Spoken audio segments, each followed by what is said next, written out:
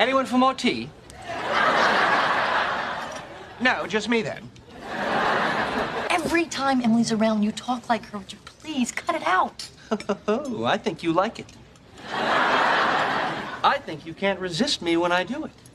You want to eat me up like a cream pumpet. What? All right, look, I don't know all the words. I've got to be off. I'll see you. Bye bye then. Bye bye then.